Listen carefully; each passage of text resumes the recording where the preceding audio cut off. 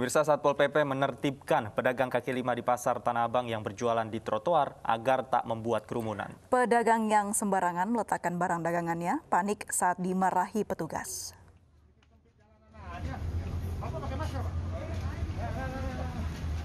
Sejumlah pedagang yang berjualan di trotoar sepanjang Jalan Jati Baru Tanah Abang Jakarta Pusat panik saat petugas Satpol PP datang tiba-tiba. Petugas menertibkan barang dagangan yang diletakkan sembarangan oleh pedagang kaki lima dan berpotensi menyebabkan kerumunan di trotoar. Dalam razia hari ini, petugas hanya mengimbau dan meminta para pedagang merapihkan barang dagangannya serta mematuhi protokol kesehatan. Jadi dasarnya adalah menjaga agar tidak terjadi klaster baru di Tanah Abang ini. Karena bila mana terlalu rapat seperti itu, pengunjung penuh, social distancing tidak jalan. Berarti jaga jarak tidak aman juga kan. Nah, jadi kita tertibkan, kita himbau para pedagang agar tidak mengupasi seluruh trotoar. Jadi kasih jalan buat para pejalan kaki bisa melintasi jalan jadi raya ini. Orang kan lewat susah. Menurut petugas, jika pada penertiban selanjutnya ditemukan kembali pelanggaran, maka pedagang akan mendapatkan sanksi. Sementara bagi warga diimbau untuk terus menerapkan protokol kesehatan di mana pun berada. Dari Jakarta, Rani Sanjaya, iNews melaporkan. Kementerian Perdagangan bersama Asosiasi Pengelola Pusat Belanja Indonesia kembali menyelenggarakan acara bertema In-Store Promotion di Grand Atrium Mall Kota Kasablanka, Jakarta. Acara tersebut digelar selama lima hari, mulai 18 hingga 22 November 2020.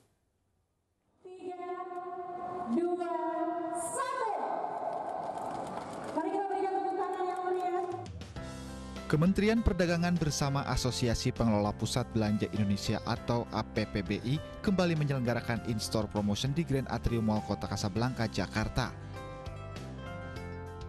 Acara ini dihadiri pimpinan Mall Kota Kasablanka Luciana serta Direktur Penggunaan dan Pemasaran Produk Dalam Negeri Ida Rustini.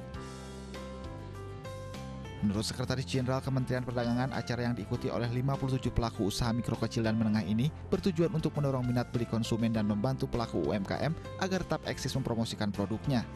Suhanto juga menyebut Kementerian Perdagangan bekerja sama dengan salah satu grup perhotelan untuk mendukung pemberdayaan UMKM di sektor perdagangan. Kementerian Perdagangan akan sangat mensupport eh, bagi UKM-UKM seperti Jemaah Dewastar ini untuk bisa melakukan uh, penetrasi pasar ke luar negeri. Kita punya perwakilan namanya Indonesia Trade Promotion Center dan atas perdagangan di 24 negara. Dan itu salah satu tugas mereka adalah memberikan fasilitas kepada kualitas para UKM atau pelaku usaha Indonesia untuk mempromosikan produk-produk kita di luar negeri. Acara in-store promotion ini digelar selama lima hari mulai 18 hingga 22 November 2020. Selanjutnya kegiatan ini akan dilaksanakan kembali di Ion City Mall Jakarta. Pemirsa, mari kita dukung para pejuang kemanusiaan dengan peduli melawan penyebaran virus corona. Dan bantuan bisa disalurkan melalui rekening yang tertera di layar televisi Anda.